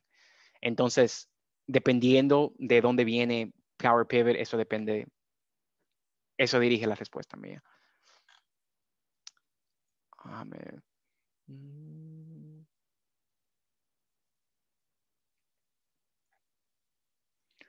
Ah, ok. Entonces hay una, hay, son múltiples o varias preguntas aquí. Hay una, ¿cuáles son las principales ventajas y desventajas de un científico o analista de datos? Depende a quién, a quién le preguntas. Eh, en mi opinión, una de las ventajas es que puede ser un trabajo bien diverso. O sea, puedes trabajar, yo tengo clientes que trabajan en áreas, en áreas de, de salud, salud pública. Trabajan con diferentes agencias de gobiernos, clientes que trabajan con algunas de las compañías más grandes del mundo en tecnología. Entonces, como científico de datos puedes trabajar en una gran cantidad, cantidad de, áreas. En mi caso, trabajo por una compañía de software, pero hay una gran cantidad de lugares, una gran cantidad de áreas donde puedes trabajar como científico analista de datos. Eh, entonces, eso es una ventaja porque tienes, no solamente tienes opciones a nivel de, a nivel de carrera, pero también yo soy una persona que me aburro fácilmente y a mí me gusta tener mucha variedad en el trabajo que hago. Y trabajando como científico de datos ofrece ese, ese lujo, en mi opinión. Desventajas es que a veces existen, a veces existen demasiadas cosas y es difícil a veces como tú escuchas un término nuevo o una información nueva y a veces tienes que ir y saber, ah, cuál es esta herramienta del cual me están preguntando o es importante yo saber lo que ocurrió aquí o es importante saber ese detalle, ese algoritmo, porque existen muchas cosas eh, eh, en el campo o en el área de estudio. Entonces, eso diría que es un, poco de una desventaja. También, en mi opinión, algunos científicos de datos, específicamente, no tanto como los analistas de datos, como pueden ser expertos en un área, pero como científicos de datos, muchos terminan en una situación donde yo me encuentro que lo los que, lo que hacen puede ser bien enfocado en una sola área y a veces eso es algo que veo como una desventaja. Tengo el lujo de que eso no es una desventaja para mí, pero en esos casos, un científico de datos tiene una, sabe una gran variedad de cosas puede trabajar fácilmente en otras áreas para, para aprender más sobre lo que existe, ya sea software, desarrollo de aplicaciones, eh, trabajando como una persona que se enfoca en estadísticas, etc. la línea de aprendizaje, SQL o NoSQL, la línea de aprendizaje es SQL principalmente y con NoSQL yo diría que es, eh, NoSQL es algo que viene después. Puede tener, honestamente, cientos, si no miles de diferentes maneras en el cual se puedan acceder documentos que son NoSQL. NoSQL es específico para el uso que lo estás haciendo. Tiene algo, por eso me gusta SQL porque tiene independientemente de dónde lo estés usando, siempre va a ser lo mismo. Con NoSQL, yo puedo crear una base de datos NoSQL conteniendo algún tipo de información y tú puedes crear una base de datos para, almacenar la misma información y la estructura puede ser completamente diferente. Entonces, recomiendo que aprendas SQL. NoSQL es más para, para casos específicos. Y SQL es más común en el área también. El mayor reto que un científico de datos debe enfrentar, en mi caso, a veces yo diría, el reto que yo enfrento, que yo, en el cual yo pienso más es en qué yo quiero enfocarme. O sea, quiero enfocarme en, vamos a decir, yo puse el, nombre de algunos algoritmos anteriormente. ¿En qué yo quiero enfocarme? Quiero enfocarme en, en, en conocer en gran detalle este algoritmo específico, cuándo debo de abandonar algo, en qué me, o sea, el, problema mío siempre es en qué me enfoco, en a qué yo debería prestarle atención y qué yo debería de no prestarle tanta atención.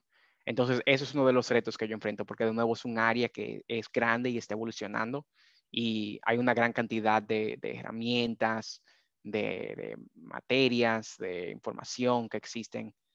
Entonces, por eso creo que no, eso es uno de, los retos que yo, más, que yo más enfrento. Muy buenas preguntas ahí. Eh, déjame ver.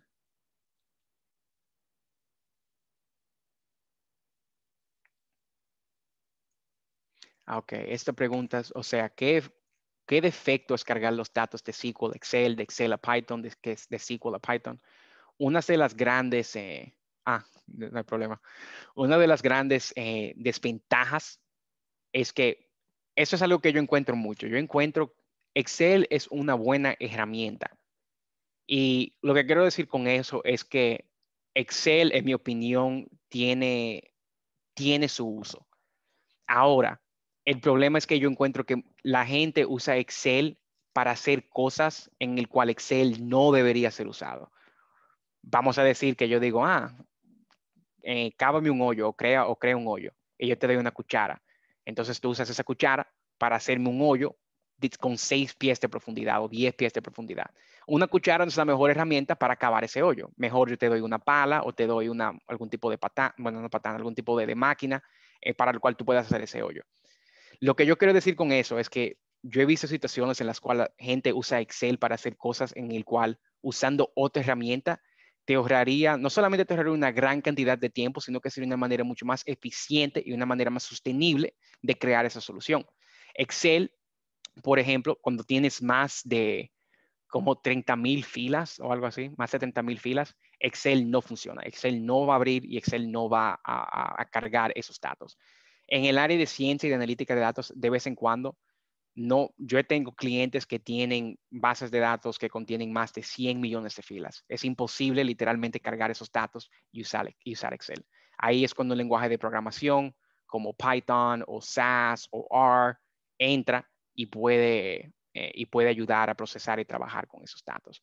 Entonces yo diría que Excel es bueno si tienes que hacer, o sea, yo lo uso en mi día a día, yo lo uso para crear como agendas y, listas y una, quizás una visualización rápida, por ejemplo, pero cuando las cosas se complican más, cuando necesitas una solución muy, una solución específica, una solución más involucrada, Excel no es la mejor herramienta para eso.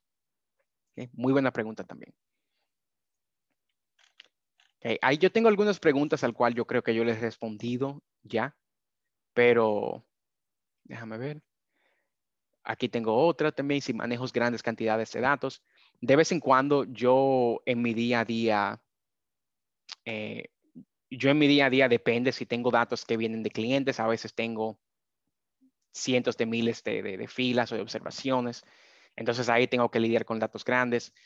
Pero normalmente yo lo que hago es que para muchos de mis ejemplos o muchas de las demostraciones que yo hago, yo busco datos que tengan una suficiente cantidad de información, pero que sean que sean suficientemente pequeños al cual yo pueda cargarlos a la memoria de mi computadora y usarlos en, ese entonces. Entonces, de vez en cuando yo uso muchos datos y a veces no uso tanto. Entonces, depende de la situación.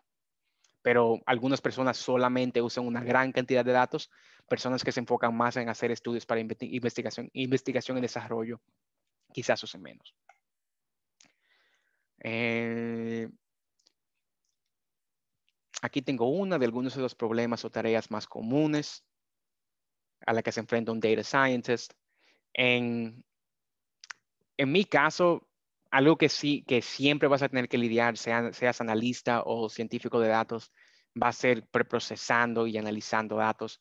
De nuevo, para todo, para todo lo que vayas a hacer, sea generar una visualización, o sea, entrenar un algoritmo de inteligencia artificial, o almacenando, o si vas a almacenar algunos datos en una base de datos, siempre hay una gran cantidad de preprocesamiento de los datos que tienes que, que tienes eh, que, ejecutar y cómo preprocesas los datos depende en qué es lo que tú vayas a hacer al fin, al fin y al cabo del día.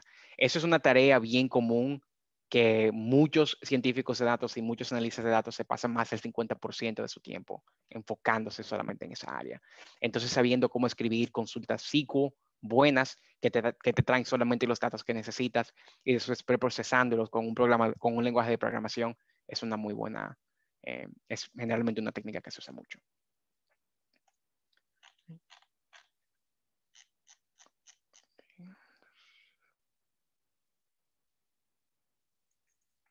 Hay otra pregunta que si es necesario poseer un equipo con algunas especificaciones en el hardware, ya sea procesador, RAM, etcétera, para empezar en el área honestamente, tú puedes comenzar con una laptop. Ahora, lo que, lo que sí te digo es que si, vas a si no tienes una máquina con muchos recursos, yo, última, bueno, yo uso mucho mi computadora del trabajo que tiene, déjame ver, la computadora del trabajo mía, déjame ver si abro mis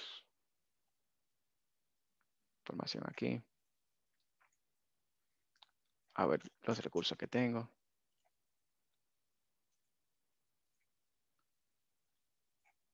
Ah, la máquina mía tiene, tiene cuatro cores, una Intel de casi 2 GHz o 2.11 GHz, tiene 16 GB de memoria de RAM. Esta computadora no es necesaria para hacer, yo la uso para hacer cosas de machine learning, que es lo que más memoria requiere, machine learning y almacén o esencialmente espacio RAM para procesar una gran cantidad de datos. Eh, esta computadora es bien para aprender y para usarla, etcétera. La mía personal es un poco más vieja, pero tiene 8 GB de RAM y tiene 4, cores también y como 1.6 GHz y funciona bien. La única limitación que vas a tener es si quieres usar um, datos que tienen miles, si no millones de, filas y de columnas, se te va a hacer un poco difícil, pero necesariamente no es, no hay una cantidad específica de, de, computadora que necesites. Jason, también si me permites para, para Steven José García Mora. Bueno, eh, eh, eh, cuando se es en términos de aprendizaje, corrientemente tenemos dos opciones, una que se llama SAS, On Demand for Academics, y también tenemos Vaya for Learnings, que son dos productos que existen en la nube Así que si en el website que hemos puesto anteriormente, puedes ver ahí el tipo de software que tenemos para, para, estudiantes que lo pueden usar gratuitamente. Está todo en la nube. Eh, bueno, también hay un programa que se dice University Edition, pero ese lo vamos a descontinuar a fin de este mes, así que no, no es, recomiendo que no usen ese, pero de los otros dos eh, sí están disponibles y te pueden ayudar a sobrepasar este, este desafío de tener una, una máquina con bastante potencia porque todo está en la nube. Así que les, eh, les, les, animo que, que, vean el website y, y, que puedan usar esto. Ahí está, gracias, Vlad. Y otra cosa con eso, hablando de ese tema, Steven, también, de nuevo, los conceptos, sin importar el, el, el lenguaje de programación que aprendas, sea SAS, R, Python, etcétera. Eh, si aprendes con uno, eso se generaliza todo. Lo que yo quiero decir es que si estás usando este software, todos esos conceptos que vas a aprender usando SAS para manipular tus datos, etcétera, todo eso también es, es intercambiable. o sea, que no sientas que te estás limitando por no usar tu propia máquina. Al contrario, si no tienes los, si tu máquina no tiene los recursos, puedes usar estos recursos disponibles que, que, tienes. Y yo puse el enlace o el link de eso en el chat anteriormente. Déjame copiarlo de nuevo. No. Oh.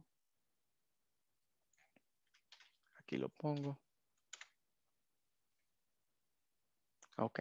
Si, tu equipo no es tan reciente, el, el link que te recomiendo es el primero que dice software de aprendizaje y la solución se llama eh, SaaS on Demand for Academics. Si tiene algún tipo de pregunta, siéntete libre de, mandarme un correo de nuevo, jason.colon uh, colon at sas.com y te responderé lo antes posible. Eh, te puedo ayudar a, a, cómo usar el, el, software si quieres un poco. O bueno, cómo, cómo, cómo llegar a un punto al cual tú puedas emprender eh, y hacer lo que te dé la gana. Okay. Perfecto. ¿Cuál es la diferencia entre Big Data y el Data Scientist? Honestamente, no ah, le di a, a responder eh, muy rápido, pero la diferencia, en, en, el área se usan muchos términos que no tienen una definición exacta. Un científico de datos, un analista de datos puede trabajar con Big Data.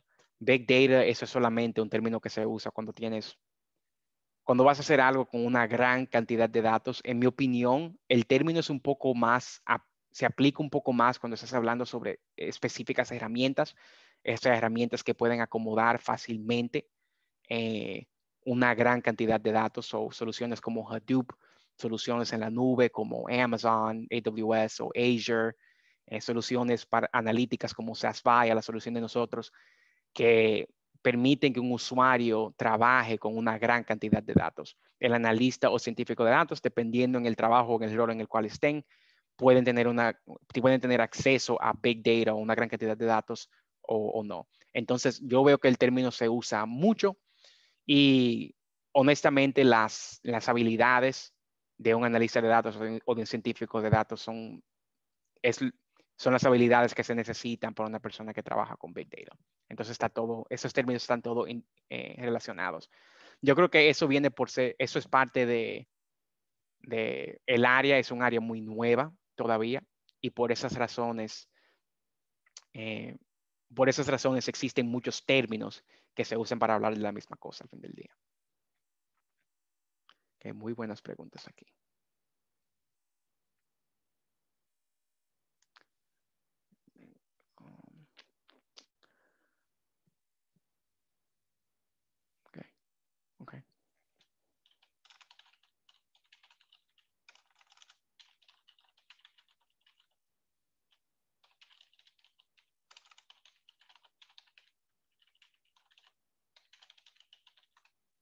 Ok, entonces ahora me informa que debemos ir cerrando. Entonces, ¿hay una última pregunta para finalizar? Yo tengo algunas que, he recibido, pero yo me encuentro que durante la presentación ya yo he respondido a preguntas similares.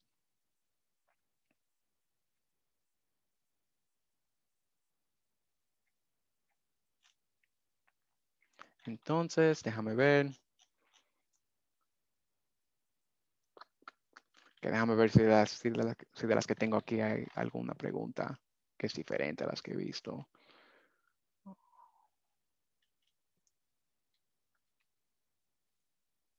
Aquí hay una pregunta que tengo que es, ¿cuáles conocimientos debería tener para elaborar, para elaborar como analista de datos aquí en República Dominicana? Los conceptos y todo lo que yo he mencionado sería lo mismo que necesitarías. Ahora, en yo lo sé por, por experiencia, en la República Dominicana el área está en su infancia, lo cual le presenta a ustedes una gran oportunidad de entrar al área de analítica y de la ciencia de datos. O sea, las personas que comiencen en esta área ahora, ustedes honestamente son los que pueden dirigir cómo sigue la analítica de datos y la ciencia de datos en la República Dominicana. Por ahora, de lo que yo sí estoy seguro es que la, mayor, la mayoría de personas que, están, que estarán haciendo analíticas de datos son compañías grandes, ustedes no puedo decir nombres, pero ustedes se pueden imaginar, son compañías grandes eh, dentro del país que tienen los recursos para hacer analíticas o ciencias de datos. Entonces, cosas de las que yo he hablado, el conocimiento, las, las cosas básicas que yo he mencionado, conocimientos de estadística, eh, cosas como machine learning son cosas que van a comenzar a, emerger más, los bancos para tomar decisiones, por ejemplo, eh, saber cómo generar visualizaciones para tomar decisiones a un alto nivel, a un nivel ejecutivo a nivel de, de, de, persona alta en una compañía o nivel, o nivel de gobierno, tener esas herramientas para generar visualizaciones. Como todo eso en su infancia, todas las cosas que yo he hablado hoy son las cosas que, que son las cosas fundamentales de la ciencia y de la analítica de datos. Entonces yo creo que esas, esas cosas les ayudarán a, eh, ayudarán a emprender en una carrera ya en República Dominicana. Ah. ¿Por qué los programas no están disponibles para Mac OS? O más bien he buscado para descargarlos, solo están en Windows. Eh, ah, perdón, yo solamente quiero responderle a esta última pregunta. Eh, lenguajes de programación, Python y yo sé que Python está disponible en macOS. No estoy, creo que R también. SAS, si usan la, el enlace que le mandé del software de aprendizaje, ese está disponible. Lo puedes usar en una Mac también si, si deseas. Entonces, sí puedo usar los, los, lenguajes de programación, pero algunas de las otras aplicaciones, sean Tableau o sean, eh, sean Tableau o Power BI o Visual Analytics quizás no sé si, si existen en, Mac. Y una de las razones es porque es más difícil desarrollar para una Mac cuando el 90% de, de, personas a nivel de, comercio, sea sean bancos, empresas, compañías, el 90% usan Windows, por eso es más fácil diseñar una aplicación que trabaje bien con un tipo de software en vez de también diseñarlas para que trabajen con el software de Apple. Y por eso encuentras esas diferencias. Entonces, ya me han dado a mí mi señal. Eh, de nuevo, muchas gracias por eh, pasar esta noche conmigo, con nosotros. Eh, mi correo lo pueden ver en pantalla. Mi correo es jason.colom.com. Si tienen algún tipo de pregunta, por favor, no siéntense libre de, de, mandarme un correo y les responderé lo más antes posible. Como mencioné anteriormente, no soy un gran fanático de LinkedIn, pero estoy ahí. Si desean contactarme por ahí también lo pueden hacer y espero que esto de una manera u otra los haya, los haya ayudado y esperemos vernos en el, en el futuro, en, en, el país, en algún momento, algo así. Si me ven, salúdenme. muchas gracias y ahora se lo paso a, a Dalila o a alguien de la isla. Gracias. Excelente. Muchísimas gracias por su intervención, señor Jason Colonia, señor Vlad Perdomo de SAS. Agradecemos también a todos los participantes que han estado hoy con nosotros en este webinar de día a día de un científico de datos. Em, manténganse pendientes de nuestras redes sociales, donde vamos también a estar eh, publicando otros seminarios similares. Vamos al finalizar esta sesión, ustedes recibirán una encuesta de satisfacción que nos gustaría recibir su retroalimentación de qué les pareció este webinar. Así que muchísimas gracias nuevamente a Glad y a Jason y a ustedes que estuvieron acompañándonos en esta noche. Pasen feliz resto de la noche.